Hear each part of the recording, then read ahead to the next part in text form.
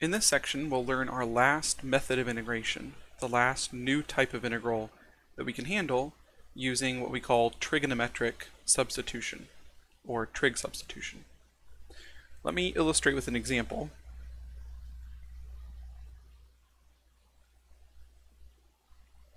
And I'll show you two examples before illustrating the general process. For this type of substitution, it's similar in theory to U substitution, for instance, or integration by parts, where we're picking a substitution to make this work.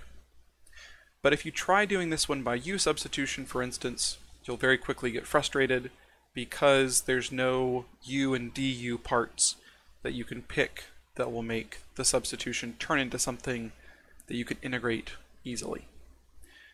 After we do a couple of examples, I'll show you how to recognize when to use trig substitution so that after we've seen all of these methods of integration, you can go back and when you encounter a new integral, you can think through all of the methods of integration you know how to handle, and you can find which one works best. So for this substitution, I'm going to make a substitution without really explaining why. So I'll start by making a substitution, and what we'll observe is just that it works. So without explaining why too much, let me just say, let x equal sine of theta. And after we've done this example, it'll become clearer why that's helpful. So at first, it's hard to see why this substitution will be useful, but after we see this example, we can observe why that helps. Now notice carefully that this substitution is unlike the other substitutions we've done. In the past, we have defined a new variable, like u, in the way that we've picked u equals something in terms of x, or dv equals something in terms of x. This time, look at how we've defined it. We've said let x equal sine of theta. So we've still picked a new variable theta that we're introducing, but the way we've defined it is a little bit backwards. In other words, we could define theta equals the sine inverse of x. But the way we've defined it is by saying let x equal sine of theta.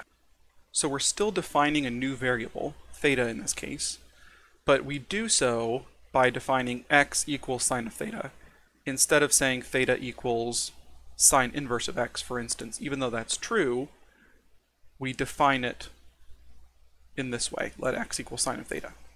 And the reason we do that, as we'll see, is that once we replace x with sine of theta, we can take advantage of a trig identity that emerges. So let's think this through carefully. If x equals sine of theta, then as we go to make substitutions, first of all we'll need to figure out what dx is, and then we'll see what happens with this complicated square root. So first of all, if x equals sine of theta, then dx, just like before, is the derivative of that, or cosine of theta d theta. And then this square root turns into square root of 1 minus sine of theta squared, or sine squared theta. And notice what happens. When we have 1 minus sine squared of theta, we have a trig identity, the Pythagorean identity, that says we can replace 1 minus sine squared with cosine squared. And of course, when we have the square root of cosine squared, we can simply write that as the cosine of theta. Which means our integral gets much simpler. Because now 1 over the square root of 1 minus x squared becomes 1 over cosine of theta, and dx becomes cosine of theta, d theta, which means the cosines cancel, and we just have the integral of d theta, which is simply theta plus c. Now, just like with any substitution method, once we've integrated in terms of our new variable, theta in this case, we want to rewrite the answer in terms of x. So we'll go back here where we note that theta equals the sine inverse of x. And so sure enough, our answer is sine inverse of x plus c.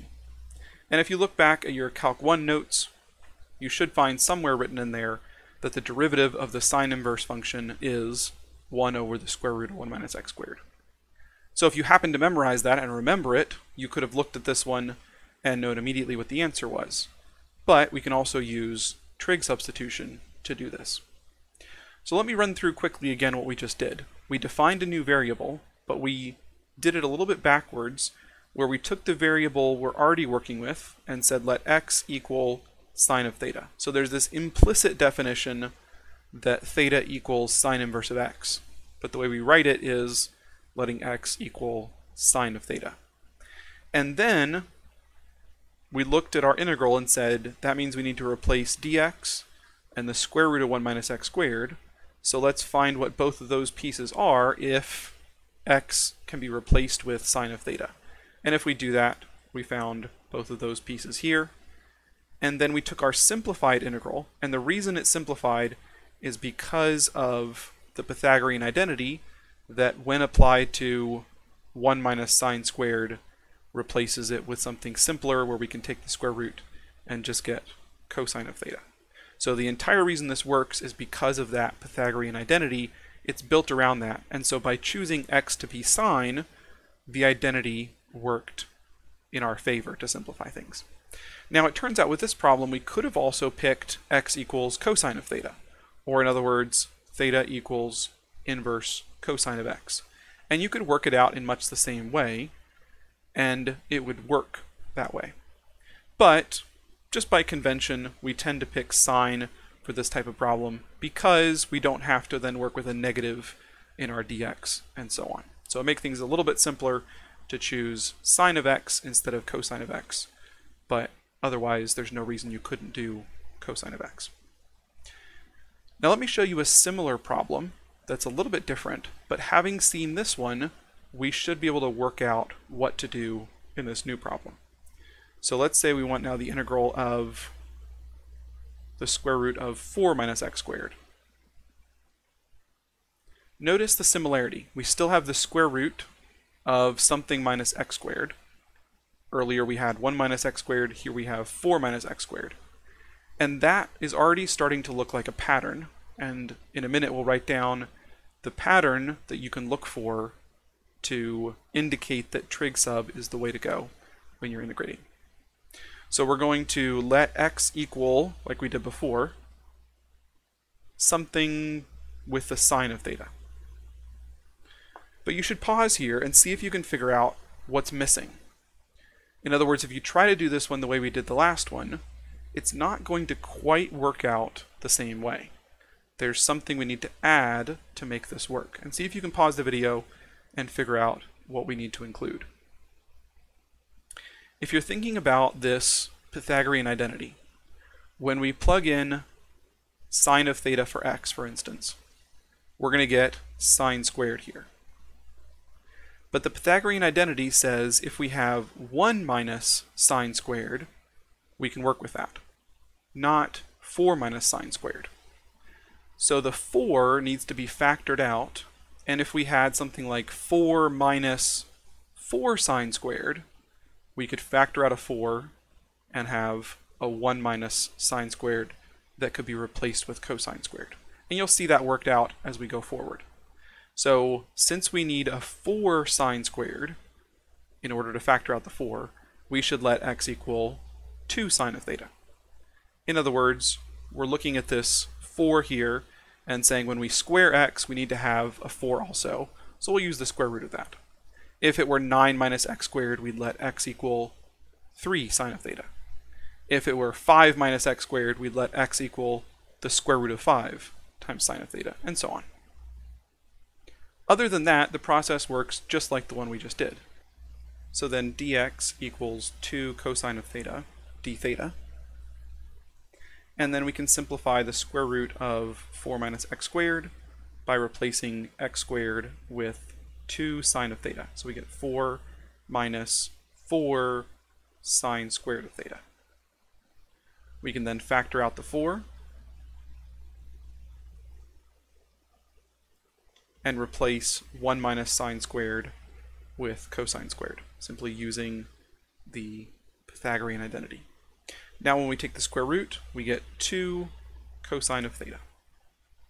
And I like to do this form of simplification where I tackle one part at a time. I figure out dx by itself and figure out the square root part by itself so that when we go to simplify and substitute things in, it substitutes large blocks at once so that now I'm not doing my simplification all in the same integral. Doing it off to the side like this. That's entirely a choice, but that's how I choose to keep things organized.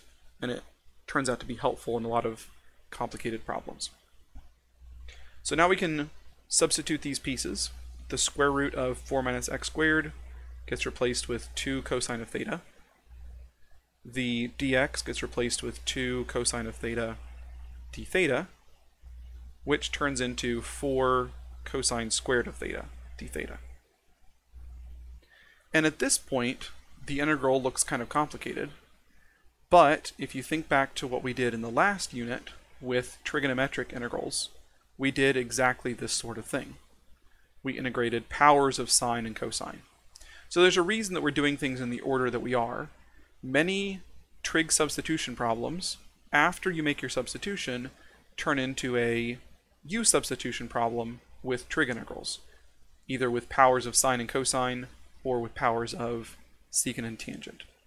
So this is one of those cases where we need to go back and rewrite this using the half angle identity, it turns out, so that we can integrate. So if you remember the half angle identity, we can rewrite this as the integral of 4 times 1 half plus 4 times 1 half times the cosine of 2 theta. Or in other words, the integral of 2 plus 2 cosine of 2 theta d theta. And when you integrate, you get 2 theta plus the sine of 2 theta plus c. So now we need to substitute back in terms of x. So we'll replace all the thetas with the equivalent in terms of x. Now it turns out at this point that there's an extra trig identity that we need because we don't know what to do with this sine of 2 theta. So there's an extra trig identity that you may have seen a long time ago, but it probably has been a while. And I don't expect you to remember this necessarily. If you need this identity, I will give it to you on a test, for instance, uh, or you can look back in the notes here. But it turns out that the sine of 2 theta equals 2 times the sine of theta cosine theta. So again, that'll be given to you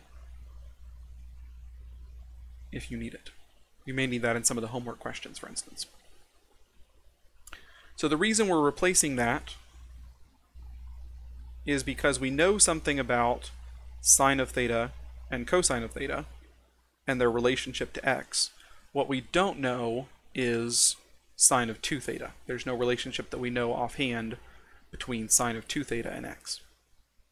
So we need to figure out how to replace theta, sine of theta, and cosine of theta with something in terms of x. Now it turns out everything we need is somewhere written up above.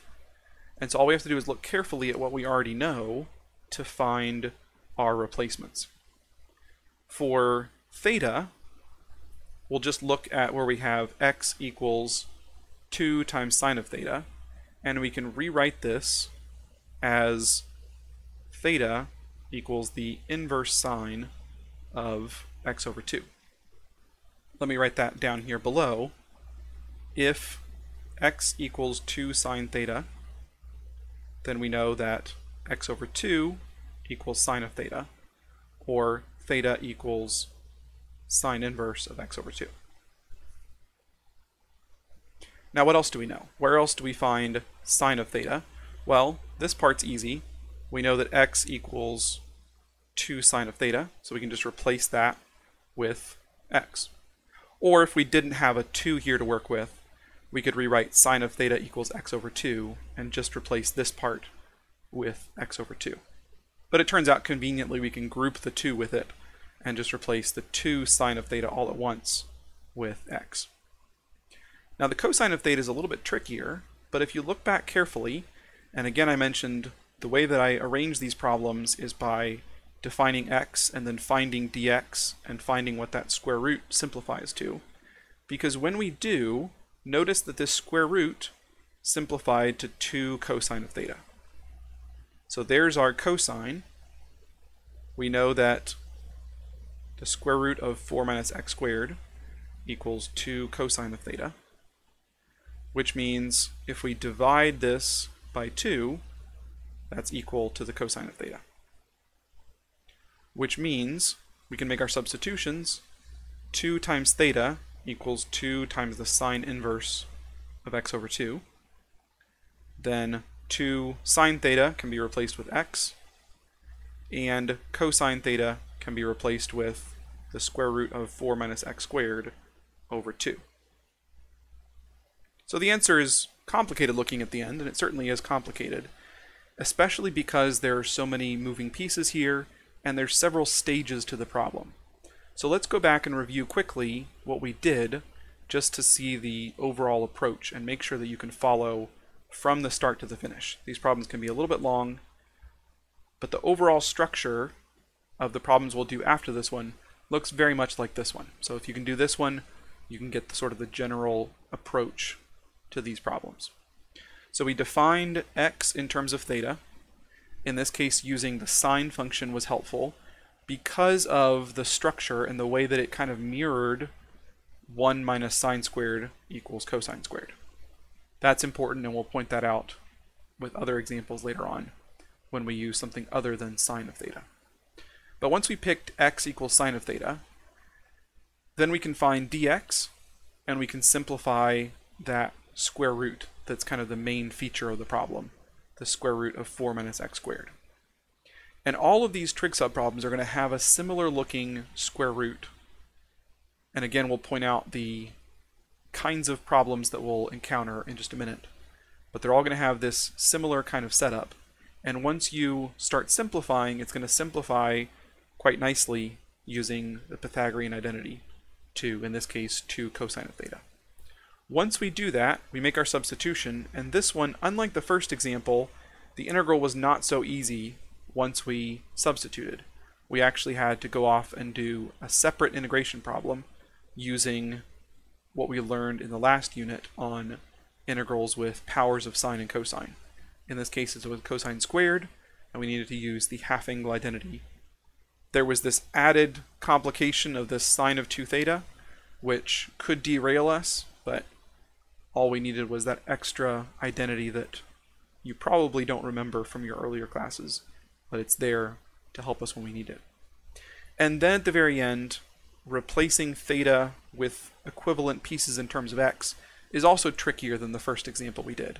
Now we had to do a little bit of work and go back and find how can we replace theta? How can we replace sine of theta? How can we replace cosine of theta? But each of those pieces was something we had worked with earlier. We just had to find a way to replace them. And once we did, we got our answer. So the general appro approach is once you pick x equals some function of theta, then you simplify everything and substitute.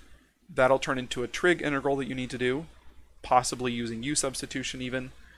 And then once you do that, there's a little bit of work to figure out how to replace it in terms of x. But if you can follow this problem again, the other ones will be very similar.